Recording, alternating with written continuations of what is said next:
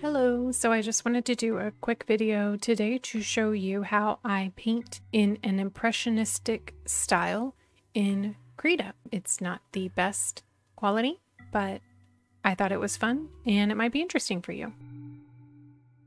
I started with a base that was more or less the tone of the picture that I wanted to kind of stick with so that I could get my brain already thinking about what direction I wanted to go with the colors and make it come together a little bit more pleasantly from the beginning.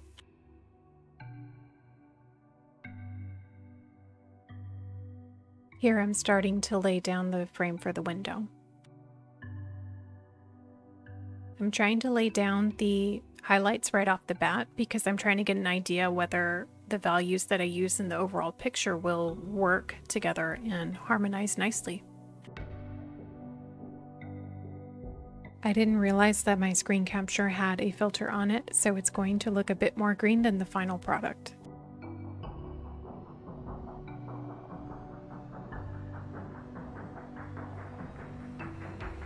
Trying to clean up some of my edges here before I move on.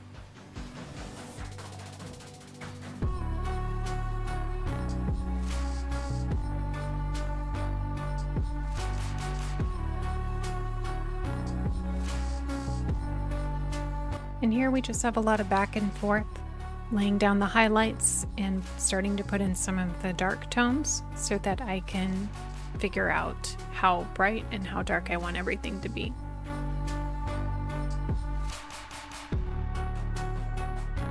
This was a gorgeously lit photo with trees outside and so I'm starting to block in some of the shapes of the trees. I'm trying to focus more on the shapes of the, the darks and the lights rather than Oh, that's a tree. I should make it shaped like a tree.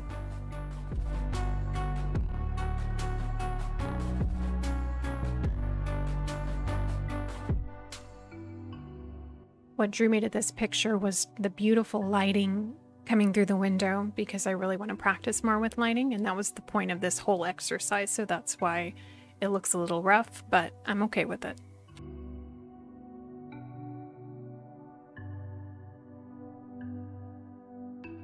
Now I'm really trying to focus on the light that's coming in through the window and will be hitting the table and I'm trying to make it look like shafts of light without actually changing the opacity. I kept the opacity at 100% because I wanted it to feel like painting instead of digital, which is silly, I know.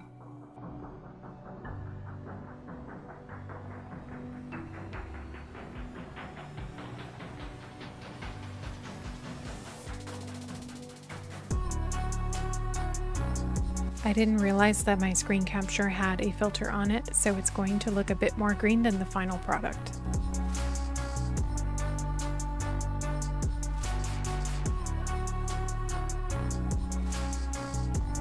I know that digital art has the capability to look very smooth and polished, but like I said earlier, this was really just an exercise in making a convincing picture of light as an impressionist style, so it wasn't really my goal to make it look very smooth. So you'll see the shadows are very blocky and not blended, and I promise you that's intentional.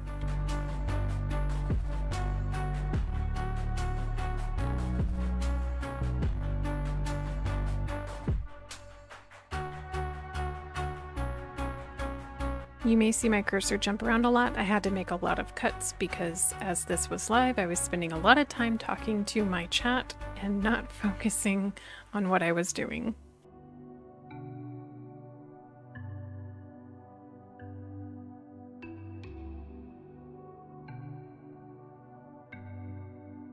Starting to put in some of the highlights on the top of the table now.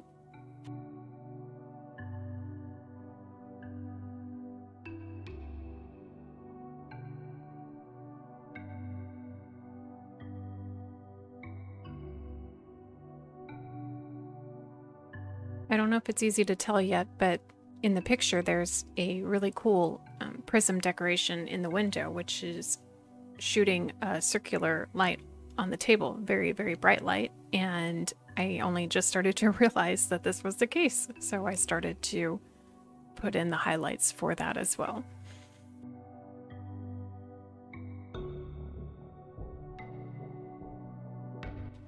I really tried to go for a loose style as that is one of my favorites in art. And so there's very little cleanup of edges. Um, a little bit on the edge of the table, maybe some on the window, but for the most part, clean cut edges were not my goal.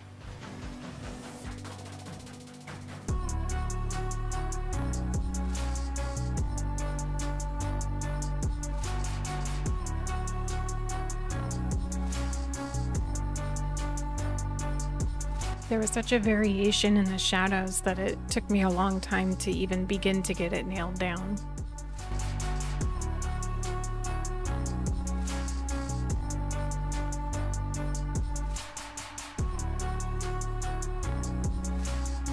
I always hate the beginning process where I'm blocking in colors because everything just looks hideous. But I do love when it eventually starts to kind of come together and form into something a little more recognizable.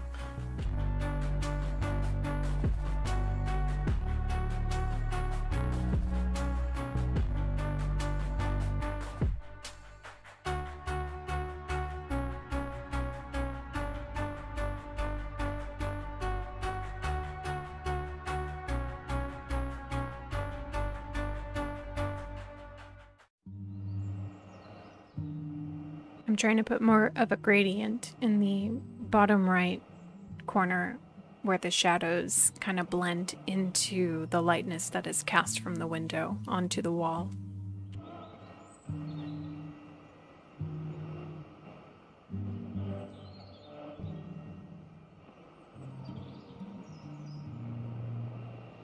I tried to focus a lot on values because that's a big weak point for me. So I was trying to pay closer attention to the different variations in tone and how dark or light the color should be. Even from the left of the window to the right side, the shadows are different. I didn't use the exact same shade for both sides because the right side was brighter because that's the direction that the light was pointing in. Here I'm adding in some of the shadow around the circular light that is cast by the decoration in the window. And that just makes it pop that much more.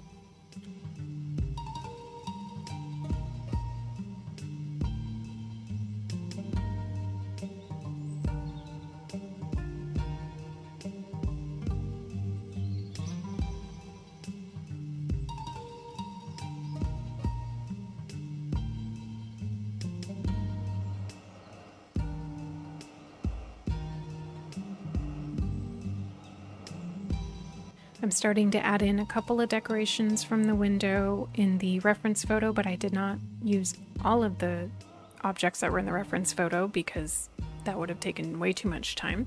But I do love how little additions just bring life to the picture and just make it so much more inviting. I started out with trying to draw a very straight line, but to me it just kind of looked awful. I suppose I could have softened the edges a lot, but since the rest of the picture was already rough looking, I didn't have a problem with hand drawing the one beam of light that was coming through the window.